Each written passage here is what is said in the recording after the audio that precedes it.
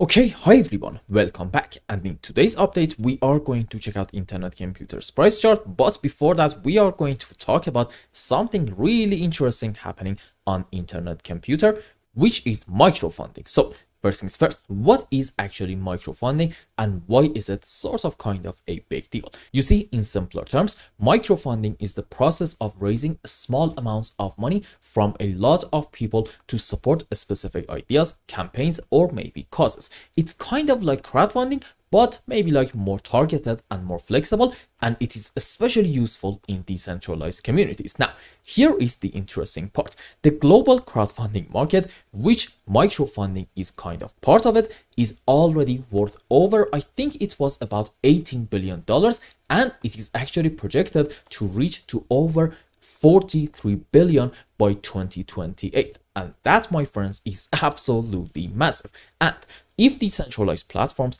start grabbing even even like a very small piece of that pie you can imagine the upside. Now let's get into what just happened recently on icp that makes this microfunding angle so so bullish. So here's the situation. Somebody on twitter jumped on caffeine ai which is in case that you don't know it a no-code AI powered decentralized app builder running fully on chain on ICP and the user basically said to Caffeine, hey, make me a microfunding platform. And boom, in just and just only three prompts, Caffeine built a fully functioning decentralized microfunding app called Microfund and it even runs absolutely trustlessly.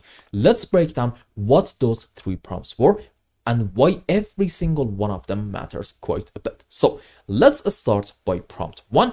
And in here, the user asks Caffeine to replace the payment agreement system from a cloned app called PayPax with donation-based campaigns. The user also in prompt one requested a couple of very very important features. Number one goal amount. Number two deadline. Number three support for different currencies including fiat stable coins crypto so on and so forth. Number four a recipient. And number five pledge and fulfillment tracking and here is why this actually matters technically. You see, this single prompt introduced governance slash escrow layer on chain.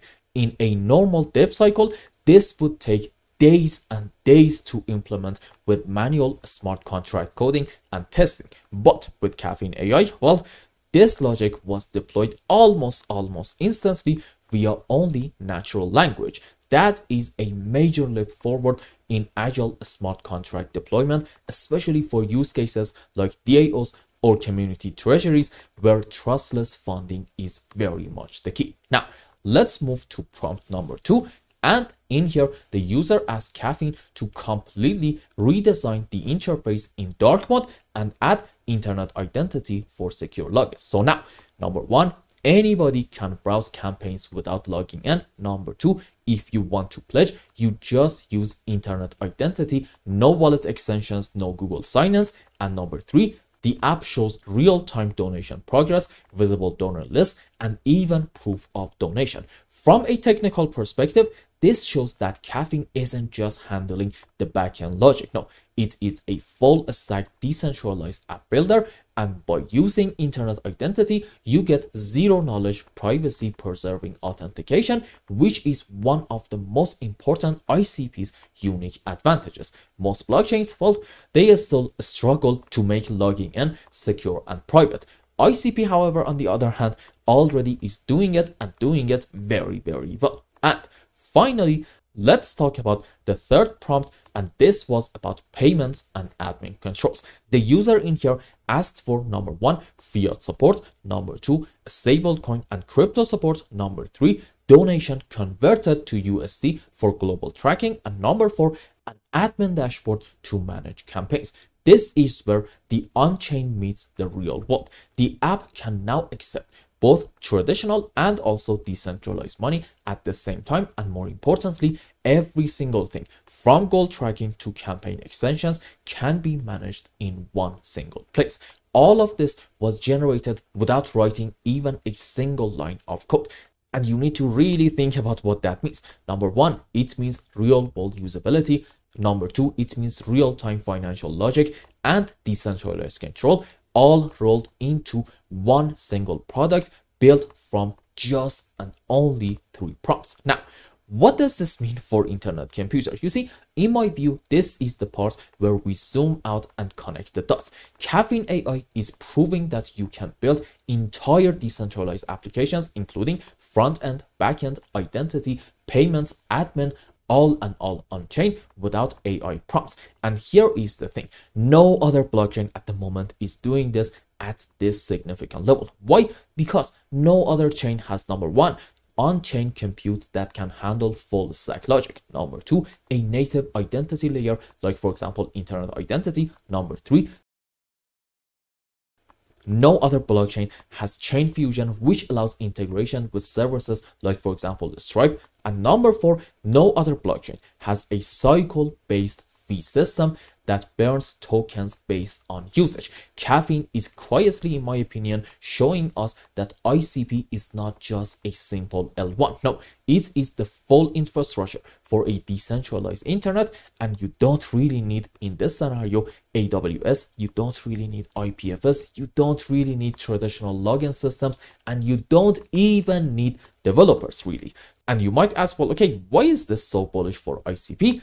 Because this has a couple of very, very important signals. Number one, Caffeine is trying to lower the barrier to decentralized app creation to basically zero, which is insane. Number two, non-developers can now, with the help of Caffeine AI, create useful tools on chain. Number three, as these tools gain adoption, they burn more and more ICP cycles, meaning they are essentially reducing token supply. And number four, every single prompt equals more applications equals more utility equals more deflation and equals what? Yep, you guessed it right, more long-term value.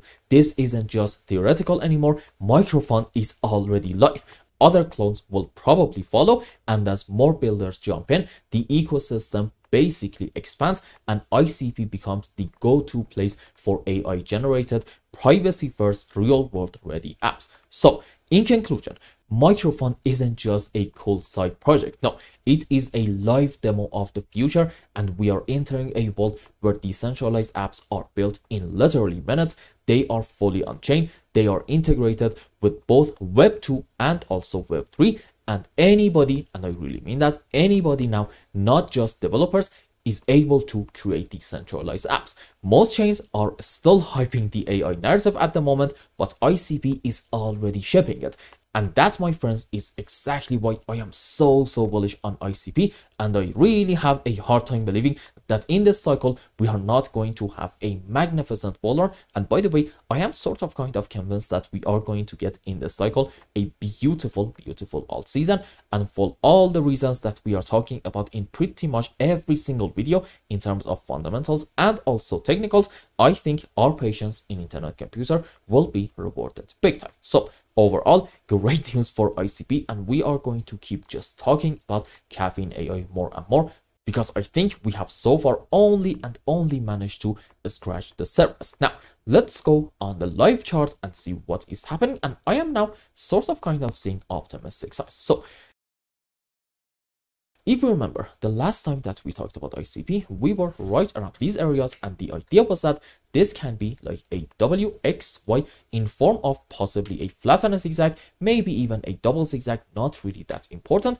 Generally, we said, I'm hoping that this is going to be a correction and the invalidation point for this bullish count is going to be taking the lowest low down here about $4.3. I said as long as we are not taking the lows, I think we are allowed to remain optimistic and soon we can have a decent move on the upside and hopefully that is going to mark our final low but here's a very important point. You see if you want to argue that we're gonna have our final low around here i don't know. Let's say this is like a very very important support area okay? Absolutely fair enough. Show me off of the lowest low a one two three four five in order for me to flip 1000 percent bullish. Now this specific example is called an impulsive structure.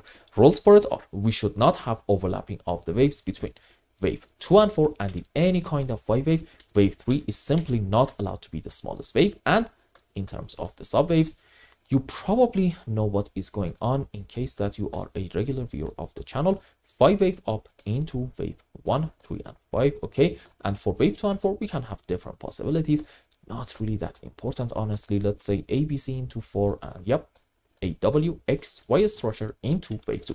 Now let's go on the live chart and see what is happening and why right now I am actually quite optimistic in internet computer. Maybe it's best to go on like 15 minute time frame and I think we can say look this is one followed by probably an ABC flat into wave 2 decent move up into wave 3 correction for 4 and what are we having right now i'm really hoping that it's going to be another move up into wave 5 which means you know what maybe in icp the final low the low of this correction is already in but does this mean right in here is actually a long opportunity for us? At the moment, I'm going to say no for two reasons. Number one, we still haven't managed to get back above this important level, which the higher band of it is around, let's say, $5.3. Number two, even according to the most bullish count, which suggests the final low is already in. Question, what is going to happen after a 5 wave up? You know the answer already. We are going to have a move on the downside, but here's the situation. This move is going to be very very slow and choppy and between our pullbacks up you're just constantly going to be able to identify overlapping of the waves meaning overall we're gonna have a correction structure in here and then okay right around these areas, assuming that we identify all the right subwaves, can be, I guess, a decent long opportunity in hope that we get the next huge move up. And why do I say the next big move up? Because this can be, according to the most optimistic possibility, 5 wave up into a wave 1, followed by a correction for wave 2, and what's going to be next? Incredible move up into wave 3 for 5. And in terms of Elliott waves, you want to remember that wave 3 is known to be quite strong and sharp. That's exactly why I said after hopefully hopefully we get a consolidation pattern. We can go long and hope for a very strong move up. So overall in icp in the short term i think we are sort of kind of on the bullish track but right now it's too soon to be 100 percent bullish.